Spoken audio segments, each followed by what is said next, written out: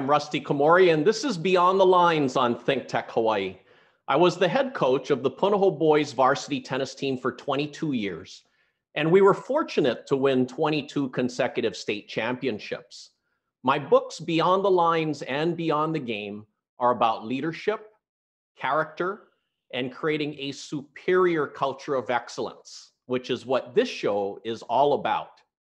My special guest today is the current Miss Hawaii USA 2021. She is Allison Chu, and today we are going beyond pageants. Hey, Ali, welcome to Beyond the Lines. Hi, hi, Rusty. Thank you so much for having me. I'm so excited to be on today's show.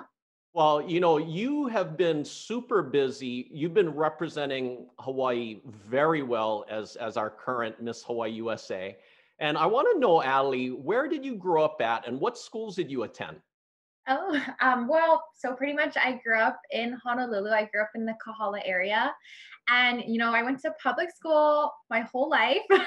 um, I went to Kahala Elementary, Kaimuki Middle School, and Kalani High School. So I am pretty much a, a product of public school. And yeah, I mean, I have uh, four siblings, you know, there's there's a bunch of me around pretty much. now, Ali, as you're growing up, what what sports or activities did you did you do?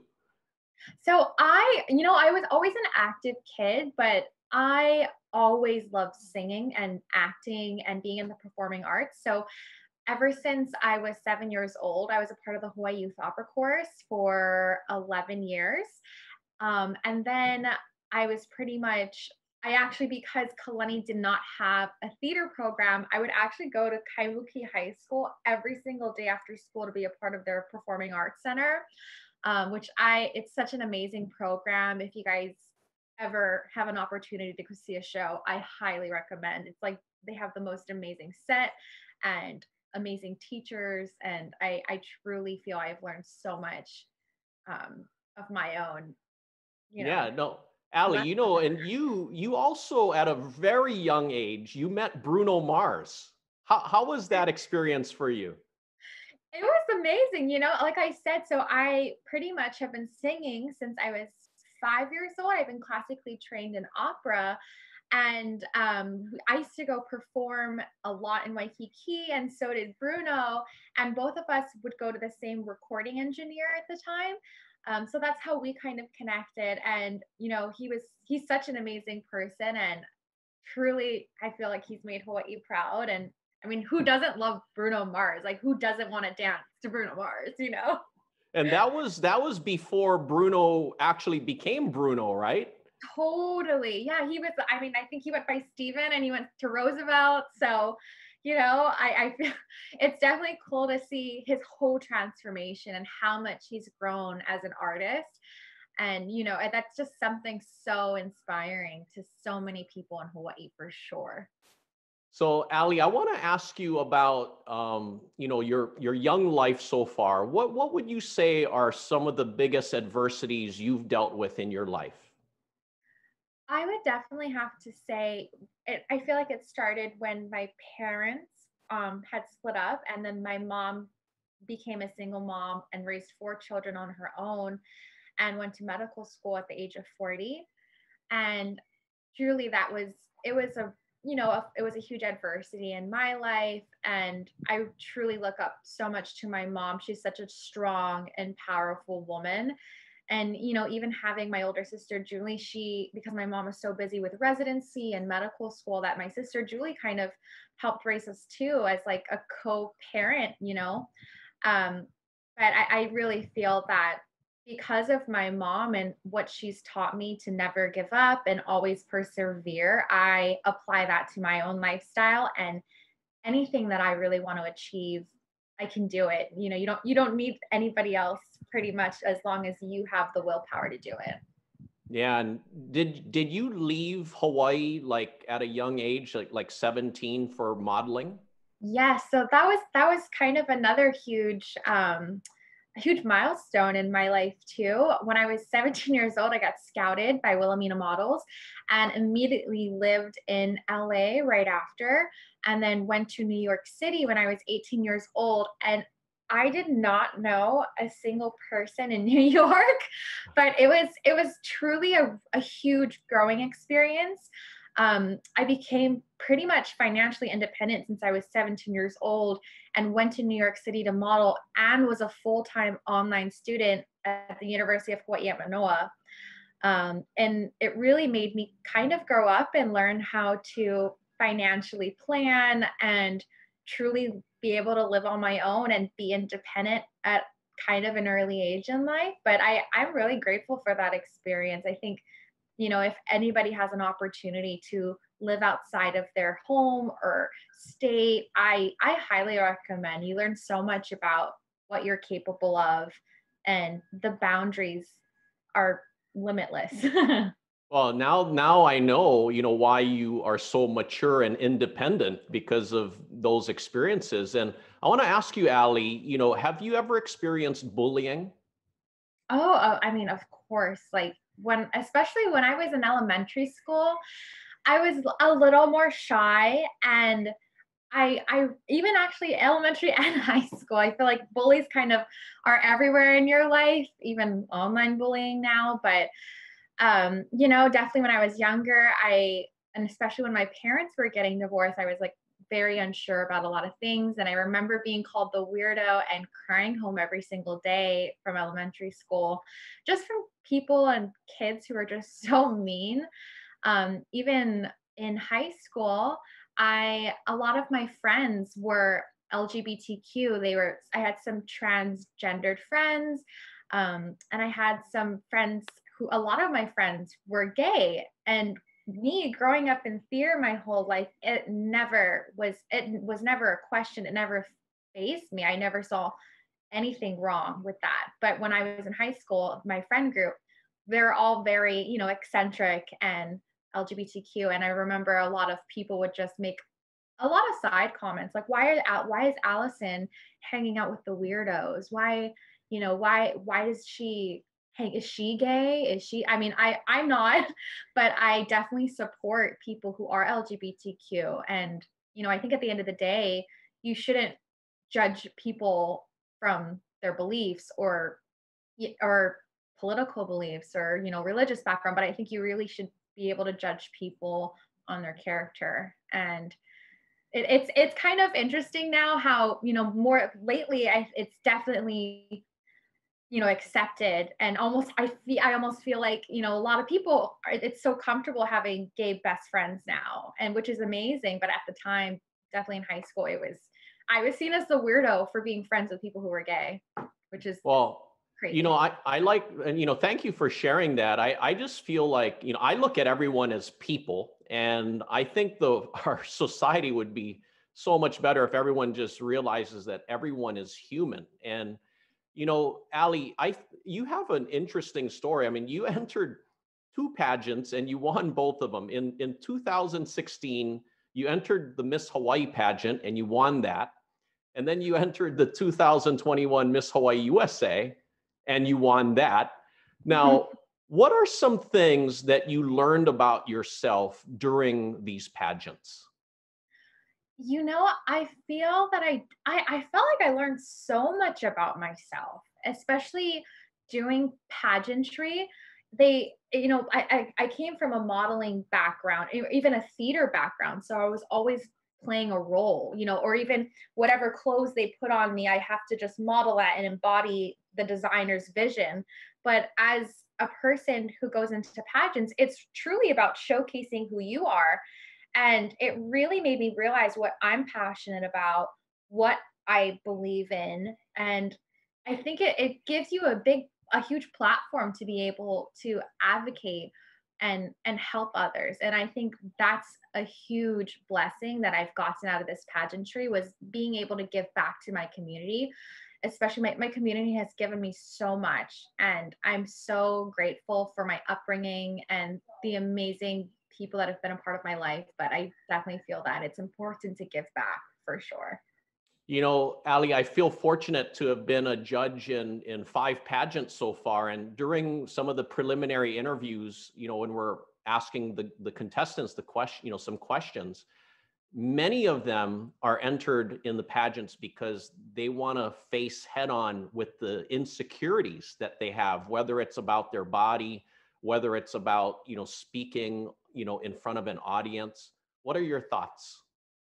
Oh, I mean, definitely. And I feel that a lot of people, a lot of people are insecure. You know, I'm insecure about some things. And I feel that life is all about growing into your insecurities and making them you. I feel nobody's perfect. And it's all about being able to just own who you are and truly accept who you are. And I definitely had you know, had gone through that when I was 17, 18, living in New York City and LA. And you're constantly being criticized on what you look like, what your body is.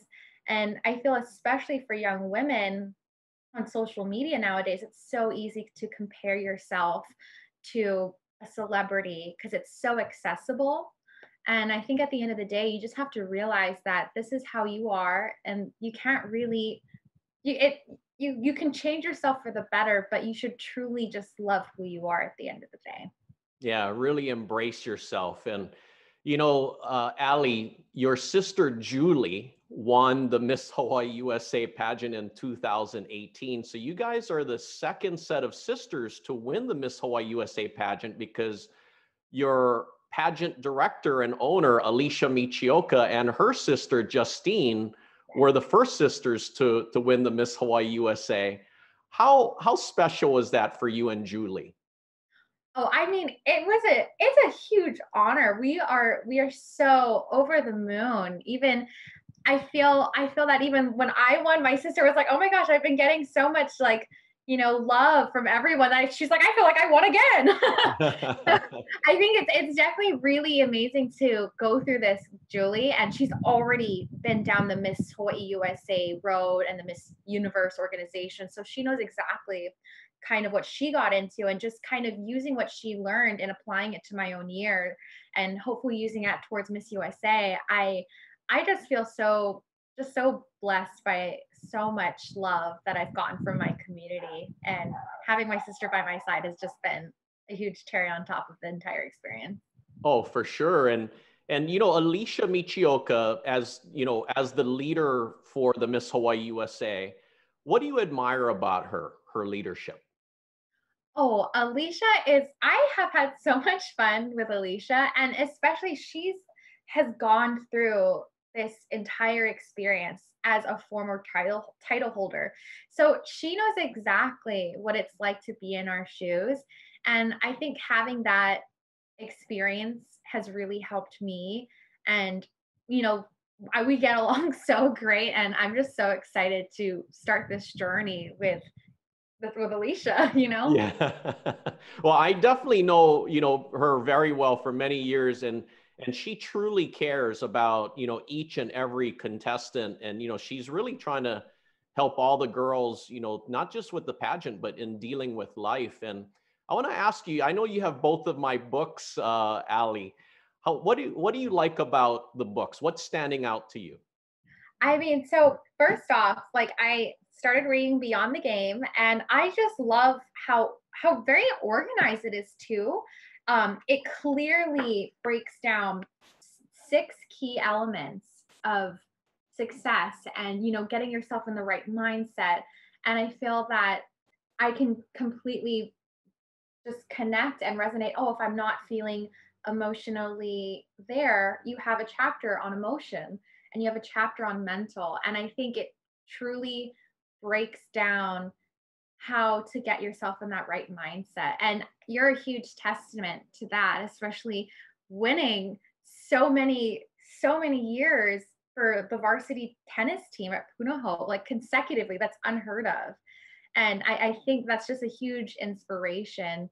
And I'm just, I haven't finished the book, but I'm excited to definitely finish it and apply this to my year towards Miss USA for sure. And I, I signed it to you, right? Yes, you did. it. And I, this is actually my first it's my first signed book from an author. I've never I've never had an author sign a book for me before, so this is actually pretty exciting. well, I feel so honored to have been the the first author to to sign a book for you. And uh, and Ali, I want to ask you about um, you know your modeling. I mean, you you started modeling at such a young age. Um, what do you feel are the toughest parts about modeling? I, I would definitely have to say the denial that you have. Nine times out of 10, you go to a casting, you're not going to book the job. That's just the reality of modeling. You're constantly being denied. And I think it was, it really helped me grow stronger as a person because I I learned to I I used to kind of criticize myself before. Oh, I'm not. You know, they would say, oh, you're not Asian enough. I'm you know I'm half Chinese, so you're not Asian enough, or you're not white enough, or you're not tall enough, you're not small enough, you're not big enough. Like there's so many things that you can not be enough for. But you really just learn. I think, especially getting denied so many times, you just kind of learn to just roll with it. I've been doing this for a little over 10 years now, and you just kind of learn to accept, you know, this is who I am. I can't I can't really change anything. I can't, this is how I was born. This is, you know, I can't change the genetics in my body.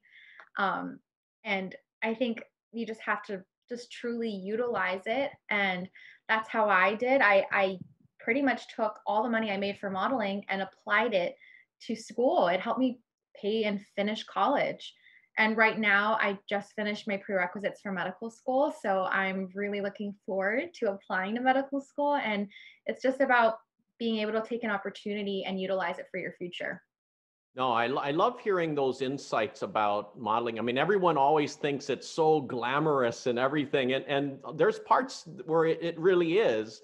But there's also the other side of things that that you were saying the the no's right, where you know, the being denied and and having to really learn about resiliency and having tough skin and and really having the right mindset for that. So, um, but Tell me, Ali, what is your platform that you're running on for Miss Hawaii USA?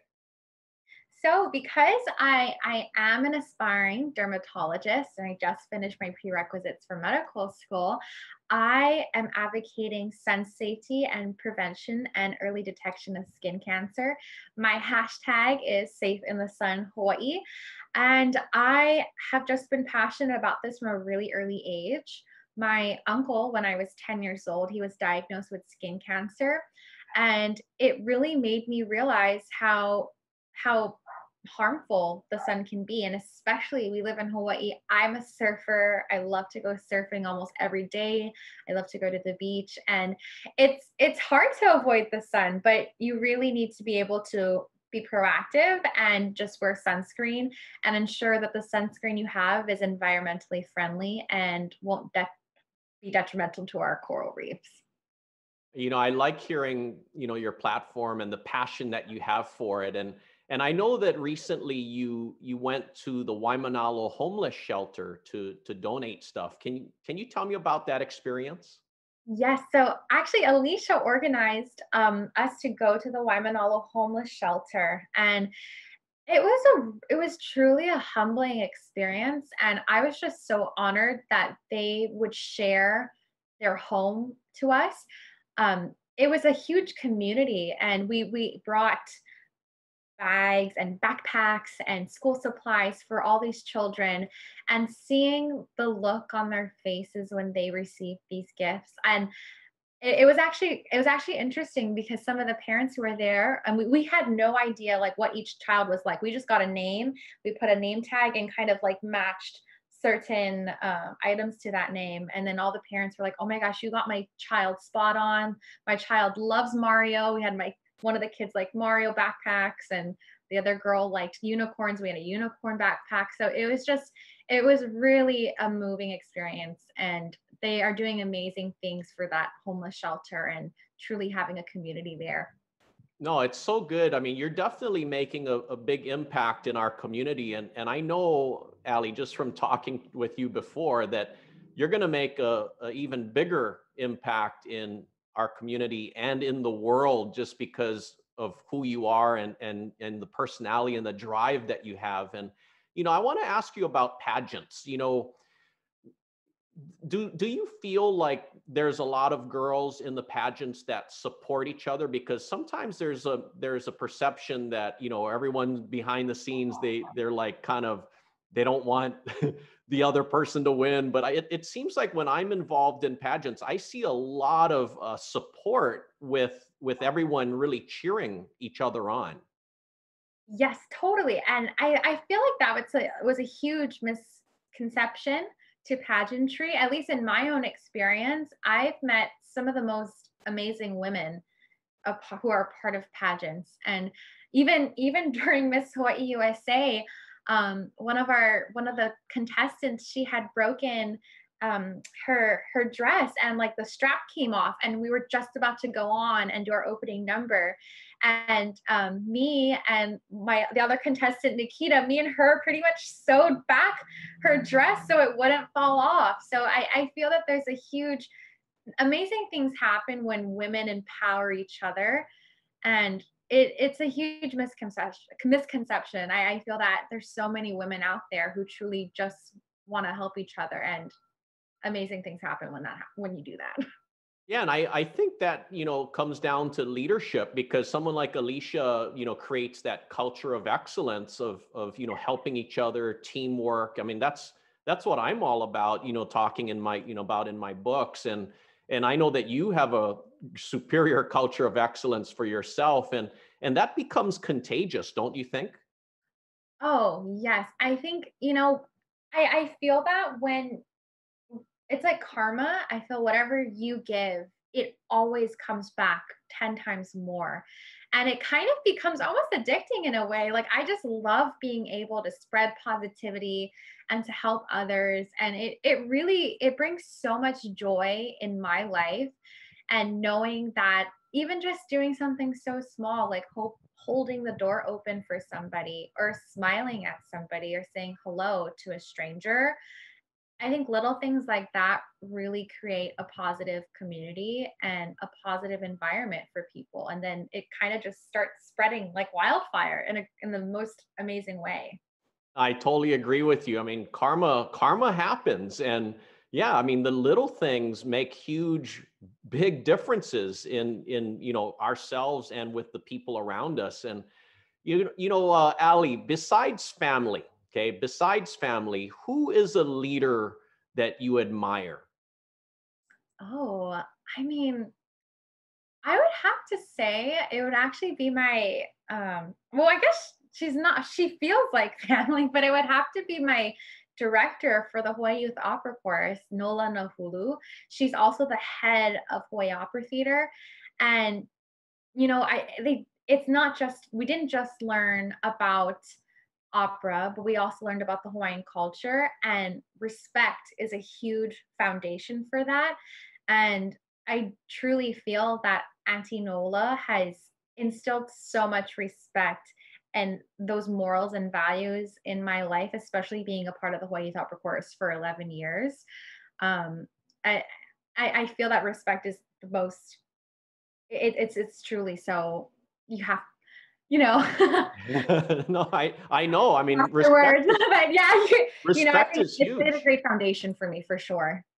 Now, okay, so I, I totally agree. I mean, respect is so necessary, and I like hearing that uh, about her. And what do you what what other qualities do you feel the the greatest leaders um, possess? I would have to say compassion you have to be a compassionate person to lead. You have to under you have to put yourself in other people's shoes. I feel that sometimes people can act out of insecurity or fear.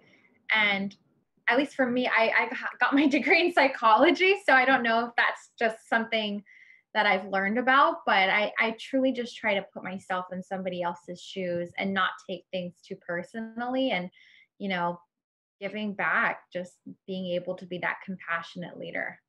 No, I totally agree. I like that you said compassion.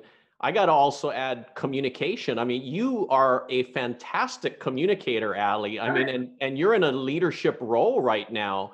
Um, so I, I, have to say, co- you know, communication is super, super important. But I really love how you said compassion. That's definitely um, a, a, key factor in, in many, many great leaders. And Ali, I want to ask you, so, you know, personally, what what is something that you want to do but you just haven't been able to do yet? Oh, ooh, that's a hard one. um, I mean, obviously, I would. I love traveling, and of course, during COVID, it's hard to travel right now. But I I mean, as soon as COVID is things get back to normal, I would love to go and travel again. I haven't been to many parts of Europe. I would love to go to Germany or, you know, just be able to like see the world. And I, I truly feel that when you expose yourself to different cultures, you learn so much about people. And I just, I really love, I'm always interested in people. I, I even like in college, I used to like people watch because I'm like, oh, it's so interesting, like seeing how people interact or like what are people going through. And I don't know if that's maybe the psychology or like the acting that I've had from that experience, but I, I really just I love learning about new cultures. So, Ali, what's the update for the big uh, Miss USA pageant? So, so far, we know it's in November. It was supposed to be this summer, but because of COVID, it got extended. So, it's going to be in November, but they haven't announced where or what exact date it is. But I'm guessing it's probably right before Thanksgiving, or I hope it is. So, you know, regardless of the outcome, I can just totally eat a huge feast. I don't have to worry, you know, don't have to worry about the bikini bot or anything like that. Ali, before we wrap up, I want to ask you one more thing. What what advice do you have for others? I would I I would just say to really be yourself. You know, I, it's a little cliche. Everyone says um, that saying, "You can't be somebody else; they're already taken." And I, I think you really and it's but it's true i think you really just need to love yourself you have to find what you're good at and stick with it and utilize it and just try to make a positive impact on people because whatever you give it'll always come back to you Oh, I, I love hearing that.